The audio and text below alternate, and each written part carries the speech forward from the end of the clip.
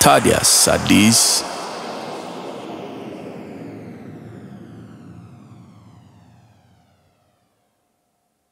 ያለው ቅዳሜ ምሽት እያደመጥኳችሁ ነበር።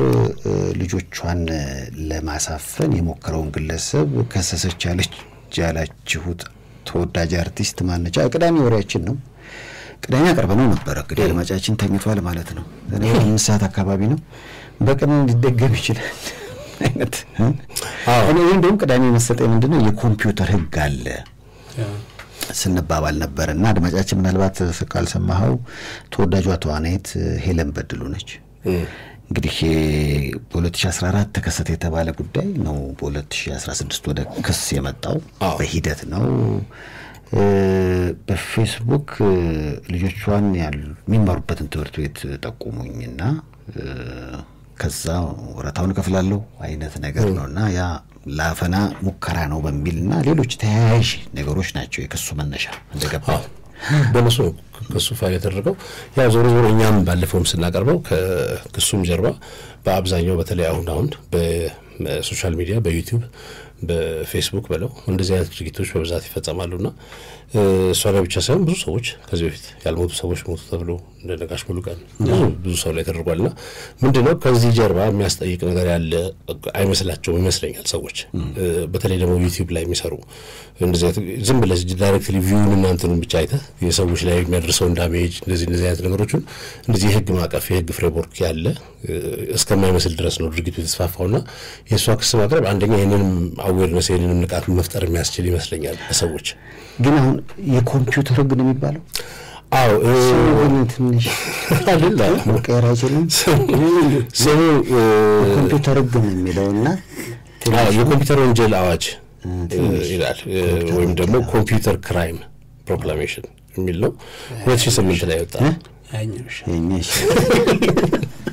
ሁለት ሺህ ስምንት ላይ ወጣ ነው በጣም የሚገርም በጣም እንግዲህ ሁለት ሺህ ስምንት ላይ የወጣውን ይህንን አዋጅ ብዙ ሰው ዘንድ ብዙ ንቃቱ የለም awareness ኡ የለም። ያው ዝም ብለህ በ fairness ታስበረ እንዲህ ልትል ትችላለህ እንጂ የምር እጠየቃለሁ የሚል ነገር የለውም። ሰው አዋጁ ብዙ ነገሮችን define አድርጓል እና በዚህ መሰረትም እንዳውም የኮምፒውተር ወንጀል የሚለውን ሲያቀርበው አንደኛ በኮምፒውተር በኮምፒውተር ስርዓት በኮምፒውተር ስርዓት የሚባለው እንግዲህ በኮምፒውተር system በምንለው ማለት ነው። በኮምፒውተር data ወይም ኔትወርክ ላይ የሚፈጸም ወንጀል ነው አንዱ። ሁለተኛው ደግሞ ይሄ በራሱ system ኡ ላይ የምታደርገው ወንጀል ነው። system ኡ ማበላሸት፣ tamper ማድረግ፣ መረጃ መቀየር፣ በላዩ ላይ ብዙ ነገሮች ማበላሸት። ሁለተኛ ደግሞ ኮምፒውተርን ወይም የኮምፒውተር system ን ወይም ደግሞ data ን ወይም ኔትወርክን በመጠቀም የሚፈጸም መደበኛ ወንጀል ነው።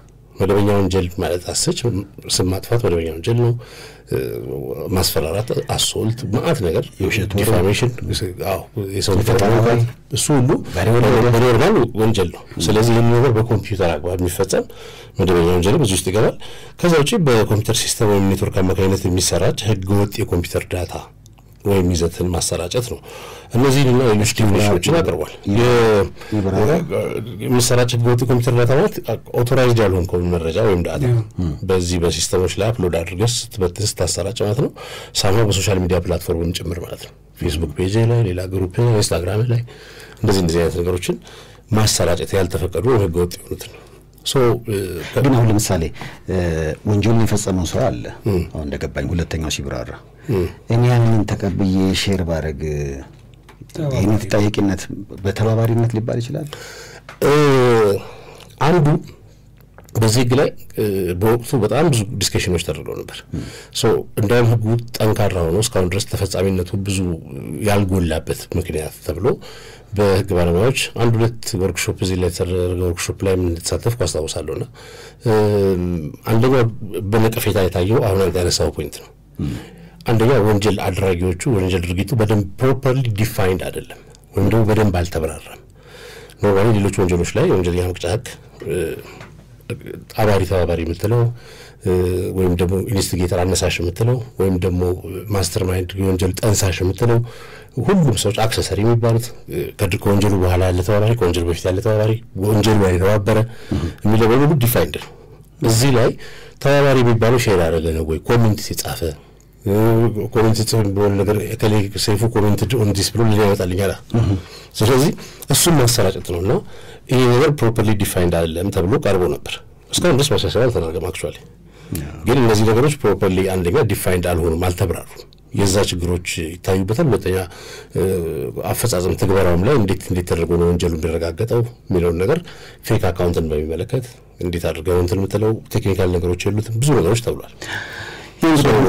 definition ኡ ግን ይሄ ነው እና አሁን በእሷም ክስ ባቀረበችውም normally እዚሁ አንቀጽ ላይ የተቀመጠው ለምሳሌ አንቀጽ 13 ላይ በዚህ አዋጅ የሌላን ሰው ክብር ወይም መልካም ስም የሚያጎድፍ ጽሁፍ፣ ንግግር፣ ስዕል ወይም ተንቀሳቃሽ ምስል በኮምፒውተር ስርዓት አማካኝነት ያሰራጨ እንደሆነ የግል አቤቱታ ሲቀርብበት ከሶስት ዓመት በማይበልጥ ቀላል እስራት ወይም ደግሞ ከብር ሰላሳ ሺህ የማይበልጥ መቀጮ ወይም በሁለቱም ይቀጣል ይላል። የምንጠቀሰው social media እንግዲህ በደንብ manage ማድረግ ነው። እንደዚህ አይነት ነገሮች ላይ ተከሰው ማስረጃዎች የሚቀርቡበት ከሆነ አንድ ሰው የ social media ው ባለቤት እሱ መሆኑ ወይም ደግሞ የዛ account ባለቤት እሱ መሆኑ prove እስከተደረገ ድረስ በዚህ ወንጀል በዚህ አንቀጽ በዚህ አዋጅ ስር ይወድቃል። እንግዲህ በሳይበር በኢንተርኔት የኔና የቤተሰቤ ስም ጠፍቷል ነው ተወዳጇ ተዋናይት ሄለን በድሉ ያለችው። ጉዳዩን ወደ ፍርድ ወስድ ወደ ፍርድ ቤት ወስደዋለች። ክሱ ቀደም ሲል ያብራራው ነው ያለ ስሜ ስም ተሰጠ ቤተሰብ ላይም ትልቅ ጉዳት አድርሷል። ልጆቼን ለማፈኑ ሙከራ ተደርገዋል ነው የሚለው። ሳምሀው እነዚህ ነገሮች ሂደት ላይ ናቸው ያሉት። እንግዲህ ዲቴሉን ወደፊት የምናውቀው ይሆናል። ተጠርጣሪው እውነት ወንጀሉን ፈጽሞታል፣ ፍርድ ቤትስ ምን ይላል? በሂደት ደግሞ እንግዲህ እያጣራ እነግራችኋለን። በያላችሁበት ጥሩ ጊዜ ነው የምንመኝ። ታዲያስ አዲስ ወደ ሌሎች አጫጭር ወሬዎቻችን እንሂድ። ምክንያቱም ለዜማ ግብዣው እየተዘጋጀ ነው። ዲጄ ሄኒኬ ከአምስት ዓመት በኋላ የሙዚቃ ስራውን ለአፍቃሪዎቹ ለማቅረብ የተዘጋጀ ተወዳጅ አቀንቃኝ አለ የሚል ወሬ ላይ ደርሰናል። ከአምስት ዓመት በኋላ ከአምስት ዓመት በኋላ wow ከአምስት ዓመት በኋላ ነው። ቦታው እዚህ መሀል ቦሌ እኛ ያለንበት አካባቢ ነው። ሸገር ህንጻ ፊት ለፊት አስረስ ህንጻ አስረኛ ፎቅ ላይ ነው።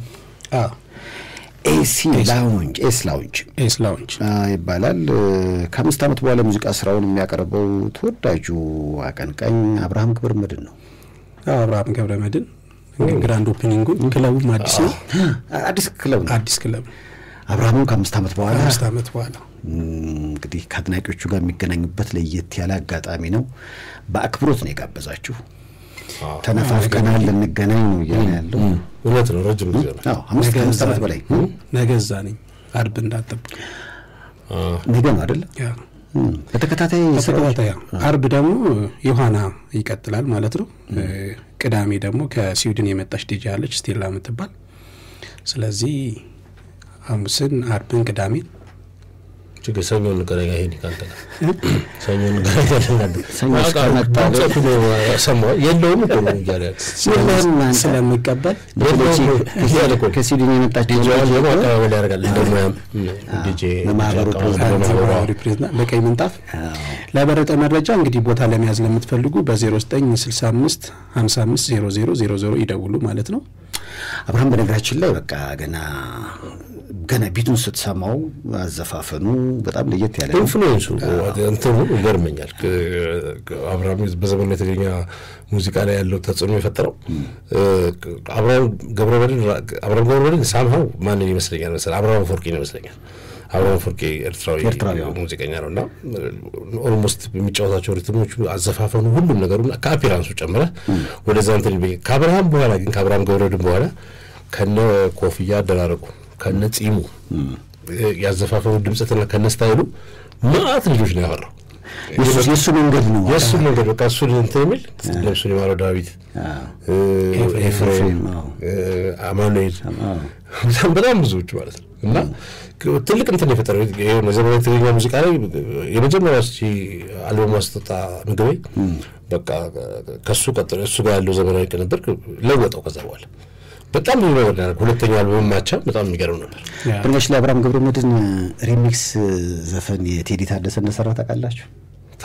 ፍቅርህን እንደ ቀላል እንደ ቀልድ አይተሽው እሱ እኮ remix የተሰራው እሱን ተምሬ መስፍን ታምሬ የሰራው እሱን ዘፈን የሚጫወተው አብርሃም ገብረመድህን ነው። የምር ነው። አዎ ላላላላይ አዎ ምለው አዎ ተው እንጂ አዎ እኔ ራሴ ለዚህ ጥያቄ። አዎ። ዘፈኑ አውቀዋለሁ ግን እሱ አልመሰለኝም። የመስፍን ታምሬ ማራቶን የሰራው አልበም ላይ ማለት ነው። አ፣ እዛ ላይ አብዱ ኪያርም አለ። አዎ አለ ዲጄ ዳኒ ካማ የሚልበት ማለት ነው። የፍቅር አባዜ ቀን ሳይመሽ ሳይጨልም በጊዜ የሚለው እሱ ላይ አሁን አለ እንትኑ ራፕ ነገሩ የሆነ ራጋ ነገር ወደ በኋላ ላይ አሰምጣችኋለሁ። ያው እንግዲህ ለአብርሃም ገብረ መድህን ወዳጆች ያው አብርሃም ስለ ሙዚቃ ችሎታው ምን ሊነገርለት ይችላል። ይችላል? በቃ ይችላል። ከአምስት ዓመት በኋላ ከአድናቂዎቹ ጋር በኤስ ላውንጅ ይገናኛል። ሁላችሁም ተጋብዛችኋል። ኑ ጥሩ ጊዜ እናሳልፍ፣ ተነፋፍቀናል እያለ ነው። ከአብርሃም ገብረ በርካታ አሪፍ አሪፍ ስራዎች መካከል ሀንቀውታን ተጋበዙ